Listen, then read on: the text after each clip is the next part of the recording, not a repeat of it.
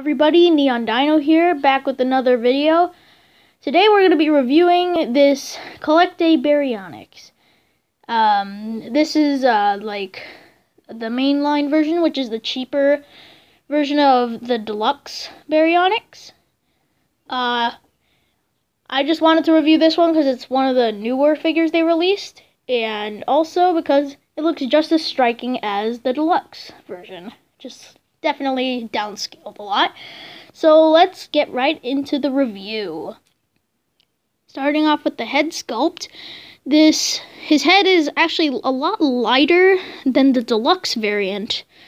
Um, he has that red crest on the top, signature baryonyx feature, the the hooked upper jaw, and um, dark looking neck he has the, um, the nice and intimidating spine, which actually, if you follow them down the back, there's it splits off into like three, and then it becomes two, and then it becomes one at the end of the tail.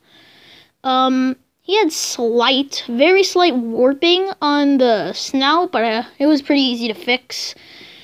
Um, the hands look pretty much just the same as the deluxe Baryonyx. Nice hooked claw though I wish it would have been thicker and more like baryonyx-ish. Um, it has the same spotted design as the original deluxe, and that, and then going down to the feet, uh, we got the, you know, we got some spots on the feet, um, actually, um, colored toenails, toe claws or whatever, um, and that we got the lovely base with some leaves. This dang camera could focus. Um, I'm going to reach over to my handy dandy scissors to cut this little thing off. And technical difficulties. Hold up, I'll be right back. Okay, I managed to get that that little tag off. Now we're able to see this, these these little pores in the dirt in the soil and there's some leaves. Wish they would put more, Collecta would put more effort into their bases though. I know this is not a very good, oh, there we go, got the focus finally. But I just wish they could have like maybe colored it or something, but it still looks good either way. On the bottom, got the nice old Collecta Baryonyx. Um, so yeah, overall very nice figure.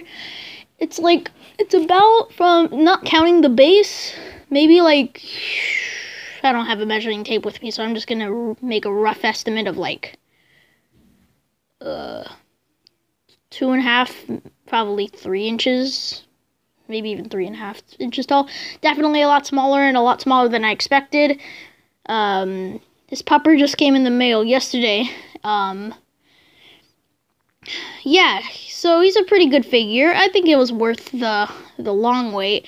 It was um, definitely the arrival of this guy was definitely postponed, especially due to the epi- to the pandemic happening right now.